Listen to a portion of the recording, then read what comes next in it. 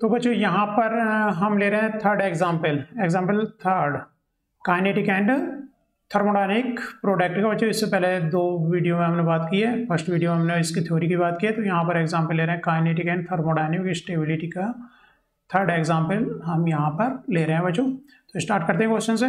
बच्चों H C N से suppose इसकी एल्फाबीटा अनसेचुरेटेड कीटोन है कोई तो उसकी अगर मुझे रिएक्शन करानी हो तो एच सी एन किस तरह से बच्चों रिएक्शन करेगा? क्या प्रोडक्ट की सोच रहे हैं आप? पहले वीडियो स्टार्ट करने से पहले आप खुद से विजुअलाइज कीजिए बच्चों, कौन सा, कौन से प्रोडक्ट यहाँ पर पॉसिबल प्रोडक्ट हैं? और कौन सा मेजर होगा, कौन सा माइनर होगा? अगर एक से ज़्यादा प्रोडक्ट यहाँ पर पॉसिबल है तो एक से ज़्यादा प्रोडक्ट पॉसिबल होंगे, तभी हम यहाँ दो तरह के प्रोडक्ट की काइनेटिक और थर्मोडाइनिक प्रोडक्ट यहाँ पर बात करने जा रहे हैं। तो बच्चों देखते हैं आगे।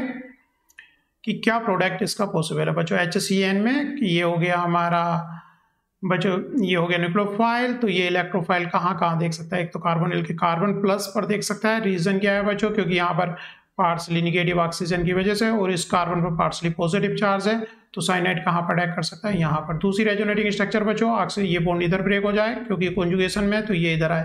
तो नेक्स्ट रेजोनेटिंग स्ट्रक्चर बच्चों क्या बन रही है इसकी? ये रेजोनेटिंग स्ट्रक्चर बन रही है। तो साइनाइड ग्रुप क्या कर सकता है? यहाँ पर भी अटैक कर सकता है, क्योंकि इसको यहाँ पर पॉजिटिव चाहे अल्फ़ा बीटा अनसेचुरेटेड कीटोन होता है तो दो पॉसिबल अटैक हैं। या तो यहाँ पर अटैक हो सकता है बच्चों, या फिर यहाँ पर अटैक हो सकता है। तो दो पॉसिबल प्रोडक्ट हमें यहाँ पर मिलेंगे। तो हमने देखा इस क्वेश्चन के अंदर साइनाइड जो है पहले एच प्लस आएगा तो एच प्लस कहाँ पर लग जाएगा? यहाँ पर लग जाएगा और C N negative H plus तो वहाँ पर लग गया सी एन निगेटिव दो पॉसिबल प्रोडक्ट या तो यहाँ अटैक कर सकता है बच्चों, या यहाँ कर सकता है। तो ए से हमें दो प्रोडक्ट मिलने की संभावना बी प्लस सी दो प्रोडक्ट की। देखते हैं बच्चों नीचे रिएक्शन के मैकेनिज्म को। तो अगर बच्चों साइनाइड यहाँ पर अटैक करेगा तो हमारा साइनाइड यहाँ पर लगा, वो निगेटिव हो गया, ये पुश बैक करेगा। तो निगेटिव ये यहाँ ब्रेकआउट होगा, जो कि यहाँ पर फिर क्या करेगा एच प्लस सब्सट्रैक्ट कर लेगा। तो एक प्रोडक्ट तो बच्चों हमारा ये बना। या फिर दूसरी पॉसिबिलिटी क्या है बच्चों साइनाइड ने कहाँ पर अटैक किया? इस कार्बन पर अटैक किया। तो हम इधर को चल रहे हैं, उल्टी लिखी हुई रिएक्शन ये। यहाँ किया तो ये पुश ऊपर हुआ वो निगेटिव हुआ। तो एच प्लस कहाँ पे फिर ये क्या पिकअप कर रहा है? इधर को आप रिएक्शन को इस साइड को देखो, ये इधर को। तो ये फिर हाँ यहाँ फाइनल प्रोडक्ट या फिर इससे स्टार्टिंग मटेरियल है। इससे हमारा क्या प्रोडक्ट बना? बच्चों, ये प्रोडक्ट बना। तो हमारे दो पॉसिबल प्रोडक्ट बने। एक तो एस सी एन ने अटैक किया तो बच्चों कॉन्जुगेशन पर अटैक किया कॉन्जुगेट एडिशन हुआ। सी एन यहाँ पर अटैक हुआ है और एक कहाँ पर हुआ है? कार्बोनिल के यहाँ पर हुआ है। डायरेक्ट एडिशन हुआ है। एक यहाँ कॉन्जुगेट एडिशन हुआ है। एक डायरेक्ट कार्बोनिल पे यहाँ पर सीधा कार्बोनिल पर अटैक किया है। तो दो पॉसिबल प्रोडक्ट है।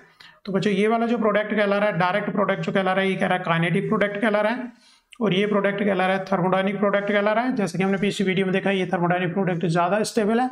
इस वाले के कंपैरिजन में यहाँ पर रीजन क्या रहा है बच्चों कंपेयर इसका? क्योंकि यहाँ पर डॉल बॉन्ड देखोगे तो कार्बन कार्बन के बीच में डॉल बॉन्ड लेफ़्ट हुआ है, जबकि यहाँ पर carbon C double bond O ये स्टेबल बॉन्ड है, ज़्यादा स्टेबल बॉन्ड है स्टेबल बॉन्ड है C double bond O oxygen का साइज़ छोटा है किसके कंपैरिजन में मोर स्टेबल है सी डबल बॉन्ड सी तो देखा जाए थर्मोडाइनमिकली ये मोर स्टेबल प्रोडक्ट है, लेकिन ये प्रोडक्ट बच्चों स्लो बन रहा है, और ये काइनेटिक प्रोडक्ट जो है ये फास्ट बन रहा है। ठीक है तो इस तरह से बच्चों, दो अटैक से दो प्रोडक्ट पॉसिबल हुए यहाँ पर एक ये और एक ये, एक ज़्यादा स्टेबल प्रोडक्ट है और एक काइनेटिक जो फास्ट रेट में बनता है, ये फास्ट रेट में बनता है। देखते हैं बच्चों रीज़न क्या है इसके फास्ट रेट में बनेगा? क्योंकि इसका अटैक जो हो रहा है, सीधा यहाँ पर हो रहा है इलेक्ट्रोस्टेटिक फोर्स ऑफ़ अट्रैक्शन से बच्चों यहाँ पर। तो ये प्रोडक्ट की पॉसिबिलिटी इसका जो इंटरमीडिएट है मोर स्टेबल रहेगा। इसकी जो ट्रांजिशन स्टेट है बच्चों मोर स्टेबल रहेगी। जबकि इसकी ट्रांजिशन थर्मोडाइनिक प्रोडक्ट की ट्रांजिशन स्टेट हाई एनर्जी की एनर्जी प्रोफ़ाइल डायग्राम देखते हैं तो हमने बच्चों ये ये हमारा स्टार्टिंग मटेरियल हो गया रिएक्टेंट हो गया बच्चों ये। तो ए से बन रहा है बच्चों, एक ट्रांजिशन स्टेज इस तरह से क्रॉस करके बन रहा है, एक कंपाउंड ये बन रहा है थर्मोडाइनिक प्रोडक्ट जिसकी एनर्जी लोअर है। इधर को आए हम काइनेटिक इंटरमीडिएट के थ्रू काइनेटिक प्रोडक्ट बन रहा है बच्चों ये, यहाँ पर। तो यहाँ पर देखने वाली बात है कि यहाँ जो एनर्जी वेरी स्टार्टिंग मटेरियल से ये जो ट्रांजिशन स्टेट है काइनेटिक प्रोडक्ट की, ये क्या है? लोअर एनर्जी की है। और जो थर्माइल प्रोडक्ट है, उसकी एनर्जी क्या है, यहाँ से देखेंगे तो ट्रांजिशन स्टेट इतनी क्रॉस करनी उसको पड़ रही है, हायर एनर्जी की ट्रांजिशन स्टेट है। तो ये इधर को रिएक्शन स्लो होगी, रिएक्शन इधर को क्योंकि लोअर एनर्जी ट्रांजिशन स्टेट को करनी पड़ेगी तो फास्ट होगी। ठीक है, थ्रो दीज इंटरमीडिएट ये रिएक्शन जा रही है। तो यहाँ पर बच्चों थर्मोडाइनमिकली स्टेबल प्रोडक्ट क्योंकि इसकी एनर्जी लोअर है इसकी एनर्जी हायर है। रीजन मैंने बताया कि सी डॉल बॉन्ड ओ है यहाँ पर। यहाँ पर सी डॉल बॉन्ड सी है। तो थर्मोडाइनिकली मोर स्टेबल प्रोडक्ट लगभग लगभग इतनी स्टेबिलिटी का रहा। लेकिन अगर काइनेटिकली बात करेंगे तो इधर को क्रॉस करना है तो इसको इतना वेरियर ज़्यादा क्रॉस करना पड़ेगा। इसलिए इधर को डिफ़िकल्ट है क्रॉस करना। तो यहाँ पर कुछ इसके बच्चों पॉइंट देखते हैं। The thermodynamic product has lower energy than the kinetic product हमेशा थर्मोडाइनिक प्रोडक्ट जो होगा काइनेटिक प्रोडक्ट का अगर कंपैरिजन किया जाए तो इतनी लोअर एनर्जी का थर्मोडाइनिक प्रोडक्ट है। इस काइनेटिक प्रोडक्ट से हमेशा थर्मोडाइनिक प्रोडक्ट की एनर्जी लोअर होती है। Highest transition state the highest transition state to the right is higher than the highest to the left left के कंपेरिजन में लेफ़्ट के कंपैरिजन में जब हम राइट को जा रहे हैं तो उसे highest energy transition state cross करनी पड़ेगी। मतलब थर्मोडाइनिक के लिए हमें हायर एनर्जी स्टेट क्रॉस करनी पड़ती है।